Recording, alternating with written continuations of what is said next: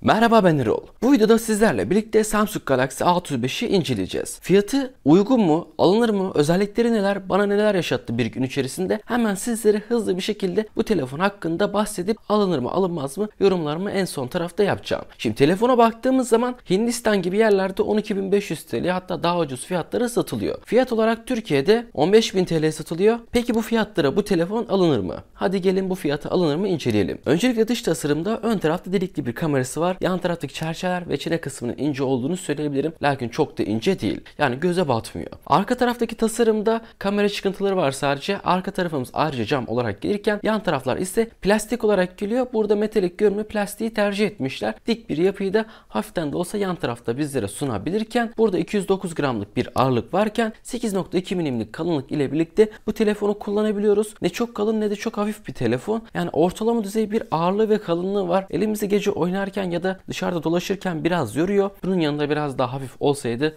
güzel olabilirdi. Buradan ekran kısmına geçtiğimiz zaman 6.6 inçlik Super AMOLED 100 Hz desteği bulunuyor. Super AMOLED olduğu için de sürekli açık ekran desteğiyle birlikte gelen bildirimleri ekran kısmında görebilirken 100 Hz akıcı ekran içinde kesinlikle yeterli olduğunu söyleyebilirim. Ayrıca Vision Booster isimli uygulama ile birlikte HDR10 bünyesinde bulunuyor. Bunun sayesinde kaliteli videoları direkt bu ekrandan izleyebiliyoruz. Son olarak da Gornick Gorilla Glass Victus Plus cam ile de birlikte ekran hem kırılmalara hem de çizilmelere karşı biraz dayanıklı bir şekilde karşımıza çıkıyor. Genel olarak ekran kısmını değerlendirmek gerekirse kaliteli, akıcı, dayanıklı lakin parlaklık kısmında geride kalan bir ekranla birlikte Samsung Galaxy A35'i önümüze sunmuşlar. Parlaklık kısmını sorun etmeyeceksiniz. Kesinlikle burada yeterli olduğunu söyleyebilirim. Buradan batarya kısmına geçtiğimiz zaman 5000 mAh bataryası var. Ortalama kullanımda bence bir gün rahat bir şekilde çıkartabilecektir. Ayrıca 25 Watt'la birlikte yine şarj ediyoruz ve yine 75 dakika içerisinde telefonumuz sıfırdan 100'e şarj oluyor. Ortalama kullanımda mesela sabahleyin evden çıktınız, gece eve geldiğiniz işten bataryanız kalacaktır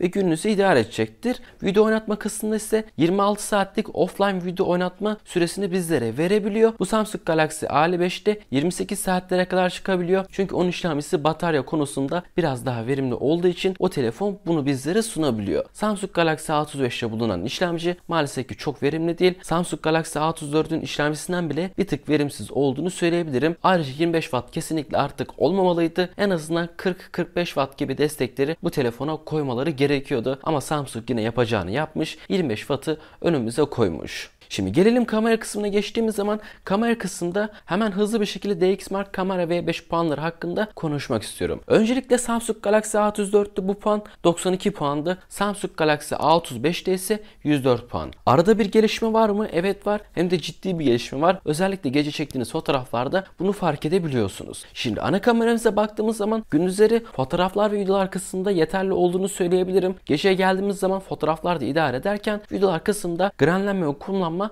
karşımıza çıkıyor. Ana kameramız ayrıca 50 megapiksel derinde ve f1.8 diyafram açıklığına sahip olarak gelirken OIS desteği de bulunuyor ve güzel çalıştığını söyleyebilirim. Titreşimleri yürürken ya da koşarken engelleyebiliyor ve bunları bize hissettirmiyor. İkinci kamera kısmında ise 8 megapiksel derinde ve f2.2 diyafram açıklığına sahip bir ekstra geniş açı kamerası var. A55'in ekstra geniş açı kamerasından maalesef ki geride kalıyor. Gündüzleri çektiğiniz fotoğraflar ve videolar idare eder. Lakin geceye geldiğimiz zaman işlevini baya baya yitiriyor. Üçüncü kamera kısmında ise 5 megapiksel derinde ve f2.4 diyafram açıklığına sahip makro çekim kamerası var. Bununla birlikte çektiğiniz yakın çekimli fotoğraflar gerçekten güzel çekiyor ve Instagram'da ya da başka yerlerde paylaşım yapacaksınız. Bu kamerayla birlikte çektiğiniz fotoğrafları gerçekten paylaşabilirsiniz. Arka tarafta harici 4K'da 30 1080p dise 60 fps destekleri bulunurken ön tarafta da aynı şekilde 4K'da 30 1080p dise 60 fps desteği bulunuyor. Ön tarafımız 13 megapiksel derinde ve f2.2 diyafram açıklığına sahip olarak geliyor. Gündüzleri fotoğraflar ve videolar kısmında idare eder. Lakin geceye geldiğimiz zaman fotoğraflar ve videolar kısmında maalesef ki sınıfta kalıyor. Samsung Galaxy A55'te DxMark kamera V5 puanı 108'di. A35'te 104. Bunun sebebi ise geniş açı kamerası ve ön kamera sensörü. Ana kamerası ile makro çekim kamerası neredeyse Samsung Galaxy A55 ile aynı performansı veriyor. Arasında bence hiçbir fark bulunmuyor. Buradan işlemci kısmına geçtiğimiz zaman Samsung'un Exynos 1380 işlemcisi var. Bu işlemci Samsung Galaxy A34'ten biraz daha başarılı bir işlemci. Genel olarak olarak baktığımız zaman çok yüksek bir performans farkı yok. Neredeyse aynılar ama dediğim gibi 1380 işlemcisi Dimensity 1080 işlemcisinden biraz daha başarılı bir şekilde karşınıza çıkıyor. Bunun Antutu ve 10 puanına baktığımız zaman 590 bin puanlar alabiliyor. Burada A34'te ise 560 bin puanları alabiliyordu. Ayrıca şunu da söyleyeyim. Oyun kısmında orta yerlerde 45 yüksek yerlerde ise PUBG'de 30 FPS verebiliyor. Ama Genshin Impact'ta maalesef ki bunu veremiyor. Günlük kullanımda bütün işlemlerinizi halledebiliyor. Yani donma kasma yaratmıyor. Ama zorlayıcı işlemlerin altından rahat bir şekilde kalkamıyor. Aynı Samsung Galaxy A55'te olduğu gibi bu telefonda maalesef ki biraz ısınıyor ve elimizi rahatsız ediyor. İşlemcisi de ayrıca 5 nanometrelik üretim teknolojisiyle birlikte geliyor. Burada 2.4 GHz maksimum hızı da bünyesinde bulunuyor. Telefonumuzun hafıza kartı kısmına baktığımız zaman evet bulunuyor. Hafıza kartı ile birlikte hafızasını yükseltebilirken 5G desteği de yine bünyesinde bulunurken Wi-Fi desteği Wi-Fi 6, NFC desteği de arka kapağında bulunuyor. Ses kısmına baktığımız zaman çift hoparlörü var.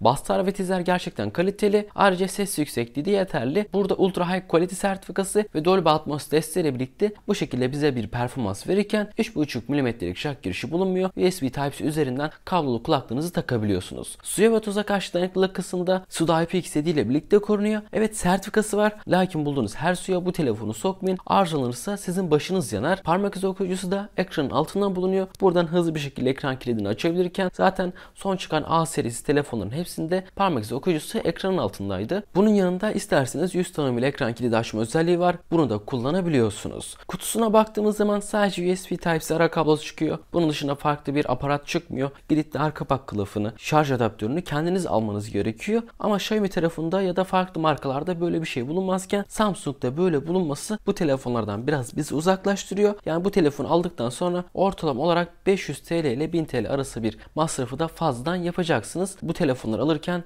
bunu da kesinlikle unutmayın. Bir ikisi bir özelliği bulunuyor. Çok çok işlevli değil. Yan tarafta bulunan K Island yani tuş adası olarak adlandırılan yerde ön taraftan baktığınız zaman hafiften gözümüze batıyor mu? Evet biraz batıyor ama çirkin durduğunu söyleyemem. Telefonun 4 yıl güncelleme desteği de var. Bunun sayesinde 2028'e kadar toplam 4 tane büyük Android güncellemesini alacak. Lakin Samsung sözünde duracak mı? O zaman geldiği zaman göreceğiz. Ayrıca sim desteği de bulunmuyor. Yani gidip de iki tane sim kartını takabiliyorsunuz ama hafıza kartını takarsınız. Maalesef ki bir tane sim kartından feragat etmeniz gerekiyor. Genel olarak da telefon bu şekildeydi. Ekran kısmında yeterli, parlaklığı eksik. Batarya kısmında bir günü çıkartıyor. Hızlı şarjı bulunmuyor ve kutusundan adaptör çıkmıyor. Bence kamera kısmında geliştirmeler olmuş ama ön kamera kısmında neredeyse aynı olduğunu söyleyebilirim. İşlemci kısmında çok az bir geliştirme var. Biraz da ısınıyor. Diğer özellikleri de yeterli. Dış tasarım kısmında arka taraf zaten cam olarak geldiği için elimize güzel bir hissiyat yaratıyor. Bu telefon 12-13 bin TL bantlarında kalırsa alınabilir. Lakin fiyatı yükselirse kesinlikle alınmaz. Yani farklı tür markalar çıkıyor. O markaları tercih etmeniz daha iyi olacaktır. Bunun dışında video bu şekildeydi. Umarım hoşunuza gitmiştir. Bir dahaki videoya kadar görüşmek üzere. Hoşçakalın.